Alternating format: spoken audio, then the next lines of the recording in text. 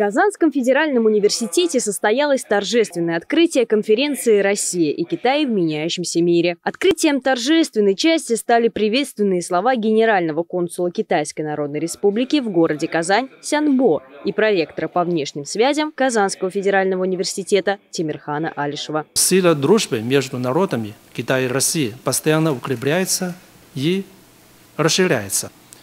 И мы глубоко ощущаем сильное желание и видим практические действия российских друзей по развитию китайско-российского сотрудничества и содействию дружбы между нашими двумя странами. Уже общее количество студентов э, россиян, которые изучают китайский язык, приближается к тысяче.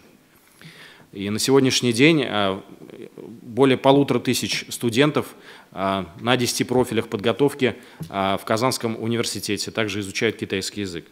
И он стал одним из центров притяжения для китайских и российских студентов, для которых созданы комфортные условия для обучения. Кроме того, в зале попечительского совета Казанского университета состоялось подписание меморандума о сотрудничестве и открытии регионального отделения общества российско-китайской дружбы в Республике Татарстан. Это первое общество дружбы с народами зарубежных стран, которое работает в Москве с октября 1975 года. С момента создания общества ни на один день не прекращало своей деятельности и внесло важный вклад – в становление, восстановление и развитие российско-китайских отношений. Особую радость нам всем в Москве доставляет то, что здесь, в Республике Татарстан, создается региональное отделение общества. На форуме представители науки России, Китая и других стран смогли не только обменяться мнениями по проблемам сотрудничества Российской Федерации и Китайской Народной Республики, но и объединить усилия в становлении и укреплении международных связей в области науки и образования. Для меня большая честь э, открывать своим небольшим докладом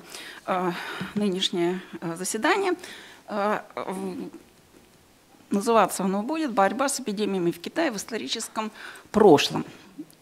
Китайская медицина, вызывающая повышенный интерес в современном российском обществе, является значительной, уважаемой и весьма специфической частью многовековой китайской цивилизации.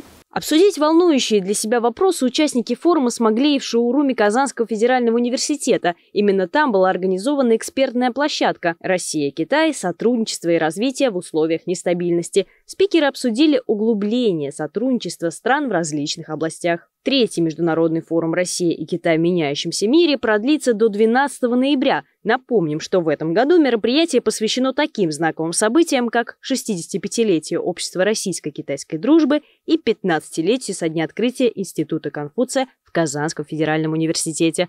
Алина Красильникова, Александр Кузнецов, Univer News.